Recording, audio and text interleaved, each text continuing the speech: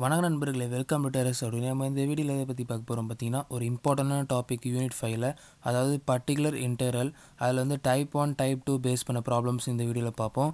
Next வீடியோவில் வந்து type three type four நம்ம பார்ப்போம். இந்த type one type two type three type four இந்த நாலு டைப்பை நீங்கள் படித்தாலே போதும். நீங்கள் நாலு டைப்புமே ஈஸியாக கூட இருக்கும். இந்த நாலு டைப்பும் ரொம்ப இம்பார்ட்டன்ட் கண்டிப்பாக உங்களுக்கு யூனிவர்சிட்டியில் ஒரு கொஸ்டின் நீங்கள் எதிர்பார்க்கலாம். இப்போ வந்து ஃபஸ்ட்டு ப்ராப்ளம் ஃபஸ்ட்டு டைப் என்ன பாருங்க. இப்போ ஃபஸ்ட்டு டைப் பார்த்தீங்கன்னா உங்களுக்கு இந்த பர்டிகுலர் இன்டர்வல் அந்த ப்ராப்ளம் எப்படி கண்டுபிடிக்கணும் பார்த்தீங்கன்னா உங்களுக்கு D square plus sixty plus eight அதாவது உங்களுக்கு லீனியர் டிஃப்ரென்ஷியல் ஈக்குவேஷனில் கொடுத்துருப்பாங்க. லீனியர் டிஃப்ரென்ஷியல் ஈக்குவேஷனாக வேறு எதுவும் இல்லை. உங்களுக்கு வந்து இந்த டி ஸ்கொயர் அந்த டி டேர்ம்ஸ் இருந்தாலே உங்களுக்கு இந்த பர்டிகுலர் இன்டர்வலில் தான் நீங்கள் ப்ராப்ளம் ப்ரொசீட் பண்ணணும்னு தெரிஞ்சுக்கோங்க. அதுவும் உங்களுக்கு ஈக்குவல் டு ஜீரோ வந்ததுன்னா அது டூ மார்க்ஸில் கேட்பாங்க. அது வெறும் நீங்கள் ஆக்சிலரி ஈக்குவேஷன் மட்டும் கண்டுபிடிச்சி உங்களுக்கு சிஎஃப் கண்டுபிடிக்கிற மாதிரி இருக்கும். இப்போ இதில் வந்து உங்களுக்கு ரைட் ஹேண்ட் சைடில் உங்களுக்கு e power minus two x அதாவது e இ பவரில் உங்களுக்கு இந்த மாதிரி அதாவது எக்ஸ்போனென்ஷியல் டேர்ம்ஸ் இருந்ததுன்னா நீங்கள் இந்த அதாவது உங்களுக்கு டைப் ஒன்று எக்ஸ்போனென்ஷியல் டேர்ம் இருந்தால் எப்படி நம்ம ப்ரொசீட் பண்ணுறது உங்களுக்கு அந்த பிஐ அதாவது பர்டிகுலர் இன்டெகிரல் வேல்யூ எப்படி நம்ம கண்டுபிடிக்கிறது? எக்ஸ்போனென்ஷியல் டேர்ம் இருந்தால் ரைட் சைடில் அப்படி தான் நம்ம இந்த வீடியோவில் இப்போ நம்ம வந்து டைப் ஒனில் பார்க்க போகிறோம் நெக்ஸ்ட்டு டைப் நான் உங்களுக்கு டிஸ்கஸ் பண்ணுறேன் ஃபஸ்ட்டு டைப் ஒனில் இந்த ப்ராப்ளம் எப்படி ப்ரொசீட் பண்ணுறது பாருங்கள் இப்போ ஃபஸ்ட்டு கிவன் எழுதிக்கோங்க. D square plus sixty plus eight into y equal to உங்களுக்கு e power minus two x next நம்ம வந்து to find auxiliary equation to find auxiliary ஈக்குவேஷனுக்கு நம்ம போன வீடியோவில் வந்து நம்ம மெத்தட் ஆஃப் அன்டிட்டர்மினன்ட் கோஎஃபிஷியன் பார்த்தோம். அதிலலாம் நம்மளுக்கு நம்மளுக்கு ஒய் டபுள் டேஷ் அந்தமாரி நம்மளுக்கு கொஸ்டின் கொடுத்தா மெத்தட் ஆஃப் அன்டிட்டர்மினன்ட் கோஎஃபிஷியன்ட்டில் நம்ம ப்ரொசீட் பண்ணுவோம். நம்ம இந்த இது வந்து உங்களுக்கு அதாவது இந்த லீனியர் டிஃப்ரென்ஷியல் ஈக்குவேஷன் அதாவது டீல் ஆரம்பிச்சதுனாலே உங்களுக்கு பர்டிகுலர் இன்டர்வியூலாம் உங்களுக்கு போன வீடியோவில் உங்களுக்கு சொல்லியிருந்தேன். இப்போ வந்து நம்ம டியில் இருந்தால் நம்மளுக்கு ஆக்சிலரி ஈக்குவேஷன் டியில் வந்து நம்ம எம் சப்ஸ்டிட் பண்ணி நம்ம ஆக்சிலரி ஈக்குவேஷன் கண்டுபிடிப்போம். இப்போ அங்கே கொடுத்துருக்கிறதே நம்ம டி ஈக்குவேஷன் தான். அதாவது லீனியர் டிஃப்ரென்ஷியல் ஈக்குவேஷன் தான். அதனால் நம்ம வந்து டி இருக்கிற இடத்துல எம் சப்ஸ்டியூட் பண்ணுங்கள் எம் சப்ஸ்டியூட் பண்ணால் உங்களுக்கு வந்து M square plus six M plus eight வரும் ஈக்குவல் டு ஜீரோ இப்போது இது ரைட் சைடு வேல்யூ இப்போ எடுக்காதீங்க. நம்ம வந்து பிஐ கண்டுபிடிக்கிறது தான் நம்ம ரைட் சைடு வேல்யூ யூஸ் பண்ணோம் இப்போ வந்து நம்ம இதை வந்து நம்ம ஃபேக்டரைசேஷன் பண்ணோன்னா ரெண்டு ஃபேக்டர்ஸ் கிடைக்கும். M plus four M plus two equal to zero இது எப்படி வந்ததுன்னா உங்களுக்கு மல்டிப்ளை பண்ணால் உங்களுக்கு எயிட் வரணும். ப்ளஸ் பண்ணால் ப்ளஸ் சிக்ஸ் வரும். அப்போ வந்து two plus two plus four வந்து உங்களுக்கு மல்டிப்ளை பண்ணால் எயிட்டு ப்ளஸ் பண்ணால் உங்களுக்கு ப்ளஸ் சிக்ஸு இப்போ அதனால தான் உங்களுக்கு ப்ளஸ் ஃபோரு ப்ளஸ் டூ கிடச்சிது.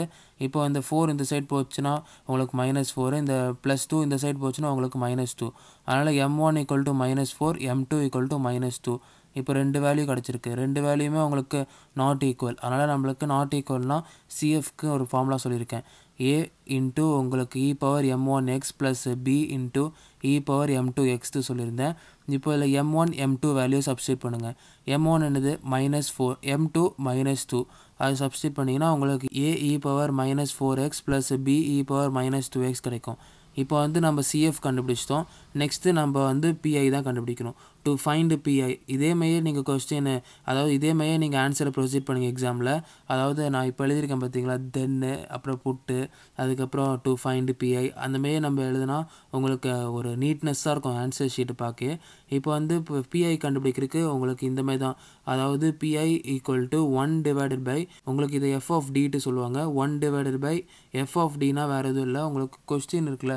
அதாவது உங்களுக்கு linear differential equation D square plus sixty plus eight அதுதான் உங்களுக்கு one divided by D square plus sixty plus eight இது வந்து உங்களுக்கு ரைட் ஹேண்ட் சைடில் இருக்குல்ல?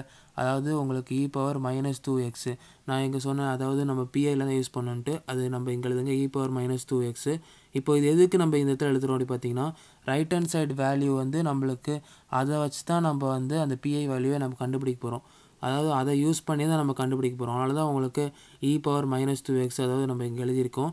இப்போ வந்து நம்ம நெக்ஸ்ட் என்ன பண்ணோம் அப்படி பார்த்தீங்கன்னா நம்மளுக்கு வந்து e power minus two x அதாவது e இயில் இ e கூட உங்களுக்கு பவர் அதாவது எக்ஸ்போனன்ஷியல் ரைட் சைடு இருந்ததுன்னா அதாவது ரைட் சைடில் exponential e power minus two இல்லை இ பவர் டூ எக்ஸ் இல்லை e இ பவர் ஏதாவது நம்பரை கொடுத்து எக்ஸ் இல்லை வெறும் e இ பவர் எக்ஸ் அந்தமாரி இருந்ததுன்னா வெறும் இ பவர் எக்ஸ் இருந்தால் ஒன்னு எடுத்துக்கணும். இப்போ அதை எப்படி நம்ம சால்வ் பண்ணுறது பாருங்கள் அதுக்கு வந்து உங்களுக்கு put D equal to minus two இது மைனஸ் டூ எப்படி இருந்ததுன்னா உங்களுக்கு டி ஈக்குவல் டு ஏ ஏன்னா உங்களுக்கு e power A x e power ஏஎக்ஸ்னால் உங்களுக்கு இது ஏ எடுத்துக்கோங்க இது எக்ஸ் அப்படின்னா இ பவர் ஏஎக்ஸ் ஏ என்ன வேல்யூ உங்களுக்கு வந்து மைனஸ் டூ அப்போ டி வந்து ஏட்டு அஷ்யூம் பண்ணணும் அப்போ டி வந்து இங்கே மைனஸ் டூ இப்போ இந்த இடத்துல என்ன வேல்யூ இருக்கோ அந்த வேல்யூ தான் நீங்கள் டிக்கு போட்டுக்கணும். இப்போ டி ஈக்குவல் டு மைனஸ் டூட்டு சொல்லி உங்களுக்கு இப்போ இங்கே டி இருக்கிற இடத்துலனா இது சப்ஸ்டியூட் பண்ணுங்கள் அப்போ டி இடத்துலாம் சப்ஸ்டியூட் பண்ணிங்கன்னா உங்களுக்கு D square plus sixty plus eight இருக்குது அப்போ டி ஸ்கொயருக்கு வந்து உங்களுக்கு minus two the whole square plus six into minus two plus eight வரும். இப்போ வந்து ச minus two the whole square வந்து உங்களுக்கு ஃபோரு அதுக்கப்புறம் உங்களுக்கு சிக்ஸ் டூஸாக மைனஸ் டுவெல் வரும். ஏன்னா மைனஸ் டூனால அப்புறம் ப்ளஸ் எயிட்டு இப்போ இது வந்து உங்களுக்கு plus four plus eight twelve வரும். அப்போ மைனஸ் டுவெல் வந்து உங்களுக்கு ஜீரோ ஆயிரும். அப்போ வந்து உங்களுக்கு வந்து since F of D equal to zero அதாவது உங்களுக்கு எஃப் ஆஃப் டினா இது தான் சொல்கிறேன் அதாவது one divided by F of D சொன்னல எஃப் ஆஃப் டினா இது தான் அப்போ எஃப் ஆஃப் டி வந்து ஜீரோ வரக்கூடாது நம்மளுக்கு. ஜீரோ வந்துருதுனால நம்மளுக்கு வந்து என்ன பண்ணுறோம் ஸோ அப்படி சொல்லி நம்ம என்ன பண்ண போகிறோம் பார்த்தீங்கன்னா உங்களுக்கு வந்து அந்த எஃப் ஆஃப் டியை வந்து ஒன்ஸ் டிஃப்ரெஷியேட் பண்ணுறீங்க வித் ரெஸ்பெக்ட் டு டியை வச்சு. ஒன்ஸ் டிஃப்ரென்ஷியேட் பண்ணிங்கன்னா உங்களுக்கு டூ டி ஸ்கொயர் இருக்குது டி ஸ்கொயர் வந்து ஏ பவர் என் ஃபார்ம் அப்போ வந்து உங்களுக்கு two into D power one வரும். ஏன்னா பவர்லேயும் உங்களுக்கு மைனஸ் ஆகும் ஒன்று அப்போ வந்து உங்களுக்கு டூ டி ப்ளஸ் உங்களுக்கு இங்கே சிக்ஸு இன்டூ டி இந்த டி ஒன் ஆயிரும். அப்போது சிக்ஸு இங்கே கான்ஸ்டன்ட் ஜீரோ ஆயிரும். அப்போ two D plus six e power minus two x next நம்ம என்ன பண்ண போகிறோம் அதுக்கு முன்னாடி நம்ம இன்னொன்று சொல்லிடுறேன். இங்கே கீழே வந்து எஃப் ஆஃப் டியை வந்து ஒன்ஸ் டிஃப்ரென்ஷியேட் பண்ணுற பை மேலே வந்து மல்டிப்ளை எக்ஸ் பண்ணணும். அது ரொம்ப முக்கியம். அதுக்கப்புறம் தான் உங்களுக்கு வந்து அடுத்த ஸ்டெப்பில் வந்து உங்களுக்கு திருப்பியும் அந்த மைனஸ் டூ நம்ம கண்டுபிடிச்சோம்ல D equal to minus two substitute பண்ண சொன்னல அதேமாரி இங்கே மைனஸ் டூவை சப்ஸ்டியூட் பண்ணுங்கள் அதுக்கு முன்னாடி இன்னொரு வாட்டி உங்களுக்கு சொல்லிடுறேன். அதாவது நான் வந்து இப்போ அதாவது எஃப் ஆஃப் டி வந்து ஜீரோ அதாவது நம்ம ஃபஸ்ட்டு மைனஸ் டூ சப்ஸ்டியூட் பண்ணி உங்களுக்கு எஃப் ஆஃப் டி வந்து ஜீரோ வந்ததுனால அதாவது இதில் நம்ம சப்ஸ்டியூட் பண்ணோம் எஃப் ஆஃப் டி வந்து ஜீரோ வந்ததுனால நம்ம வந்து அந்த அந்த பிஐ ஈக்குவேஷனில் வந்து மல்டிப்ளை எக்ஸ் வந்து நியூமினேட்டரில் பண்ணி டினாமினேட்டரில் எஃப் ஆஃப் டி வந்து வித் ரெஸ்பெக்ட் டு டி வச்சு ஒன்ஸ் டிஃப்ரென்ஷியேட் பண்ணுறோம் அதுக்கப்புறம் தான் உங்களுக்கு அந்த டிஃப்ரென்ஷியேட் பண்ண பிறகு அந்த டி இருக்குது அதில் அந்த டிஃப்ரென்ஷியேட் பண்ண பிறகு கண்டிப்பாக ஒரு டியாவது இருக்கும். அப்போ அதில் வந்து உங்களுக்கு அந்த இ பவர் மைனஸ் டூ இப்போ இதில் இருக்கா? அப்போது நம்ம அதுக்கு முன்னாடி D equal to minus two assign பண்ணோம். அந்த மைனஸ் டூவை சப்ஸ்டியூட் பண்ணுங்கள் அப்போ சப்ஸ்டியூட் பண்ணால் மைனஸ் ஃபோரு ப்ளஸ் சிக்ஸ் வரும். இப்போ மைனஸ் ஃபோர் ப்ளஸ் சிக்ஸ் வந்து உங்களுக்கு டூ அப்போ வந்து x divided by two e power minus two x இப்போ பிஐ நம்ம கண்டுபிடிச்சிட்டோம். தேர் ஃபோர் உங்களுக்கு வந்து ஜென்ரல் சொல்யூஷன் எப்படி எழுதுவீங்க பார்த்தீங்கன்னா y equal to CF plus PI இது எல்லா ப்ராப்ளம்லையும் நம்மளுக்கு இப்போ இந்த ரெண்டு வீடியோ போன ரெண்டு வீடியோலையும் இதேமாரி தான் நம்ம ஜென்ரல் சொல்யூஷன் எழுதிதோம் அதாவது சிஎஃப் காம்ப்ளிமெண்ட்ரி ஃபங்க்ஷனையும் பர்டிகுலர் இன்டெக்ரலையும் நம்ம ப்ளஸ் பண்ணுவோம். அப்போ பர்டிகுலர் இன்டெக்ரல் வந்து நம்மளுக்கு இதுதான் ஆன்சரு நம்மளுக்கு இதுதான் answer x divided by two e power minus two x அதாவது சிஎஃப் வந்து நம்ம இங்கே கண்டுபிடிச்சோம்.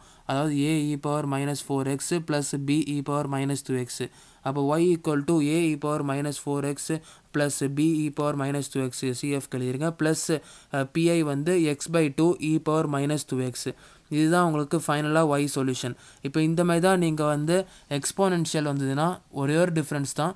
அதாவது பிஐ இதுக்கு வந்து உங்களுக்கு பர்டிகுலர் இன்டெகிரலை பொறுத்த வரைக்கும் பிஐ ஈக்குவேஷன் கண்டுபிடிக்கிறதுக்கு one divided by f of D f of Tina உங்களுக்கு அந்த ஃபங்க்ஷனு ஈக்குவல் டு உங்களுக்கு ரைட் ஹேண்ட் சைடில் என்ன இருக்கோ அதை வந்து மல்டிப்ளையில் போடுவீங்க.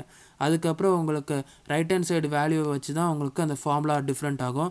அந்த ஃபார்முலா தான் உங்களுக்கு type one type two type three type four நாலு டைப்லேயும் உங்களுக்கு சொல்ல போகிறேன் இப்போ ஃபஸ்ட்டு டைப்பில் வந்து உங்களுக்கு எக்ஸ்போனன்ஷியல் வச்சு பார்த்தாச்சு. அதாவது e power minus two x இல்லை இ பவரில் உங்களுக்கு எந்த மாதிரி இருந்தாலும் உங்களுக்கு வந்து அந்த பவர் பவரில் இருக்கிற நம்பரை வந்து நீங்கள் டியாக சப்ஸ்டியூட் பண்ணி நீங்கள் கண்டுபிடிப்பீங்க. நெக்ஸ்ட் டைப் ஆஃப் ப்ராப்ளம் என்னென்ட்டு பார்ப்போம். இப்போ நெக்ஸ்ட் ப்ராப்ளம் பார்த்தீங்கன்னா உங்களுக்கு solve D square minus three D plus two into y equal to sine two x அதாவது ரைட் ஹேண்ட் சைடில் வந்து உங்களுக்கு சைன் எக்ஸு இல்லை காஸ் எக்ஸு அதுக்கப்புறம் உங்களுக்கு சைன் டூ எக்ஸு இல்லை சைன் ஃபோர் எக்ஸ் இந்த இடத்துல என்ன நம்பராக இருந்தாலும் சரி இல்லை காஸ் ஃபோர் எக்ஸ் இல்லை காஸ் த்ரீ எக்ஸ் இந்த இடத்துல என்ன நம்பராக இருந்தாலும் சரி உங்களுக்கு சைன் காஸில் வந்தால் எப்படி நான் உங்களுக்கு இந்த ஆன்சரை ப்ரொசீட் பண்ணுறது சொல்கிறேன் இப்போ வந்து கிவன் எழுதிக்கோங்க. கிவன் அந்த கொஸ்டின் அப்படியே எழுதிக்கோங்க.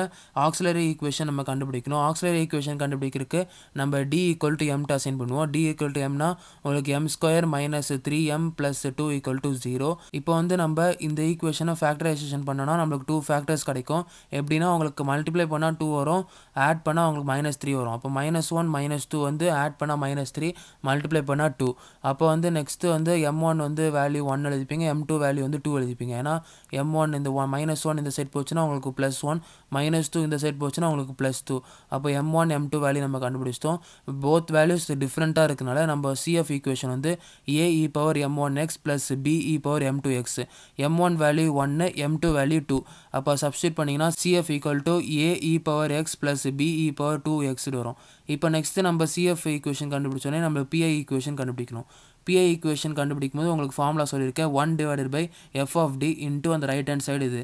அப்போ வந்து உங்களுக்கு PI equal to one divided by f of D வந்து உங்களுக்கு D square minus three D plus two அப்புறம் உங்களுக்கு இன்ட்டு உங்களுக்கு ரைட் ஹேண்ட் சைடில் வந்து சைன் டூ எக்ஸ் இருக்குது சைன் டூ எக்ஸ் இப்போ வந்து நம்ம சைன் எக்ஸ் காஸ் எக்ஸ் இருந்தால் எப்படி நம்ம ப்ரொசீட் பண்ணுறது இப்போ இங்கே சைன் எக்ஸ் இருக்குது எப்படி நம்ம ப்ரொசீட் பண்ணுறது பாருங்கள் இப்போ இந்த டி ஸ்கொயர் இருக்கிற இடத்துல நீங்கள் வந்து மைனஸ் ஆஃப் ஏ ஸ்கொயர் அப்போ ஏ ஸ்கொயர்னால் என்னென்னு பார்த்தீங்கன்னா சைன் ஏஎக்ஸ் இப்போ சைன் ஏஎக்ஸ்னால் இதில் ஏ வேல்யூ வந்து டூ அப்போ வந்து உங்களுக்கு மைனஸ் ஆஃப் டூ ஸ்கொயர் தான் உங்களுக்கு டி ஸ்கொயரில் சப்ஸ்டிட் பண்ணும். அப்போ மைனஸ் ஆஃப் டூ ஸ்கொயர் வந்து ஃபோரு அப்போ மைனஸ் ஃபோரு அப்போ டி ஸ்கொயரில் அப்புறம் minus three D plus two இப்போ த்ரீ டி டிக்கெலாம் நம்ம சொல்லலை வேல்யூ அதாவது sine sine cos cos two x sine two x இந்த மாதிரி நம்பர் ஏதாவது இருந்ததுன்னா அதாவது two x three x four x சைனாக இருந்தாலும் சரி காசாக இருந்தாலும் சரி இன்றைக்கி இந்த ஃபார்மில் தான் யூஸ் பண்ணணும். அதாவது டி ஸ்கொயர் இருக்கிற இடத்துல minus of a square a square வந்து உங்களுக்கு இந்த வேல்யூ தான் உங்களுக்கு ஏ ஸ்கொயரில் இருக்கும். ஏல இருக்கும்.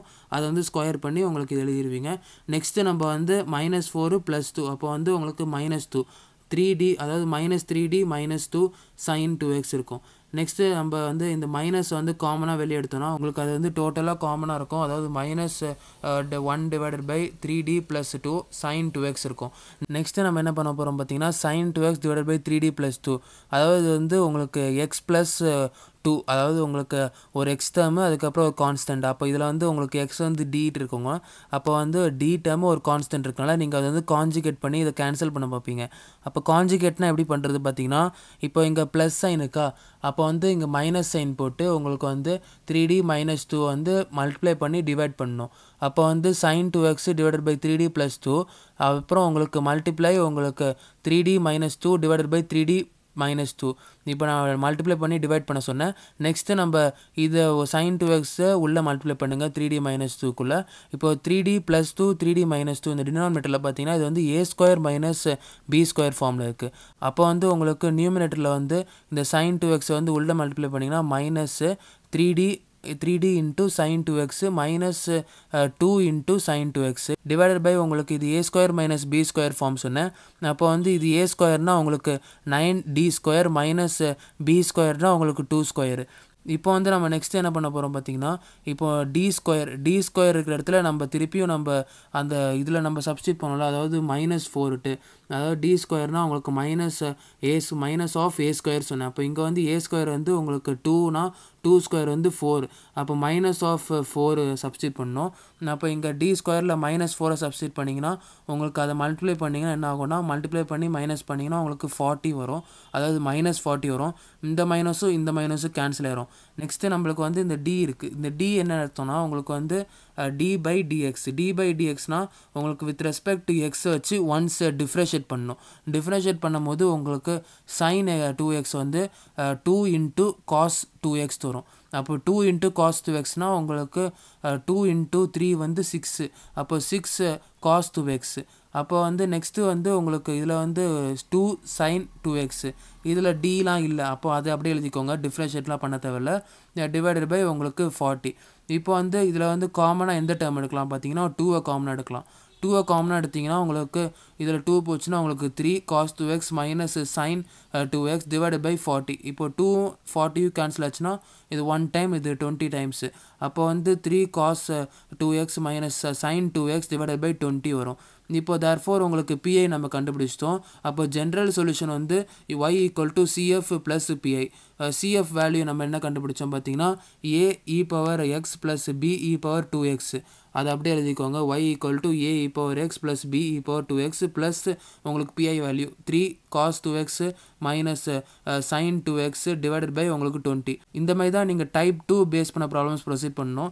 இப்போ இந்த வீடியோவில் நான் உங்களுக்கு வந்து டைப் ஒன் அதாவது டைப் ஒன் வந்து உங்களுக்கு எக்ஸ்போனென்ஷியல் இ பவரில் எதிர் எப்படி இருந்தால் உங்களுக்கு சா எப்படி சால்வ் பண்ண சொல்லியிருந்தேன். அதுக்கப்புறம் உங்களுக்கு வந்து சைனு காசு அந்தமாதிரி வந்தால் ப்ராக்டிக்கலாக எப்படி சால்வ் பண்ண சொல்லியிருந்தேன். இந்த பர்டிகுலர் இன்டெகிரல் பொறுத்த வரைக்கும் ரொம்ப இம்பார்ட்டன்ட் இது. அதாவது இந்த பர்டிகுலர் இன்டெகிரல் டாப்பிக்கில் இந்த சைன் காஸ் இதை வச்சு நிறையா கேட்பாங்க ப்ராப்ளம்ஸு அதனால் இது எப்படி நீங்கள் தெரிஞ்சுக்கோங்க. நெக்ஸ்ட் வீடியோவில் நம்ம வந்து இன்னும் ரெண்டு டைப் இருக்குது அந்த ரெண்டு டைப்பையும் நீங்கள் சேர்த்து கற்றுக்கிட்டிங்கன்னா உங்களுக்கு டோட்டலாக ஃபோர் டைப்ஸில் கண்டிப்பாக நீங்கள் தைரியமாக எக்ஸாமுக்கு போகலாம் கண்டிப்பாக ஒரு சம் அதில் வரும். நன்றி. இதுதான் இந்த வீடியோவில் உங்களுக்கு சொல்ல நினச்சேன்.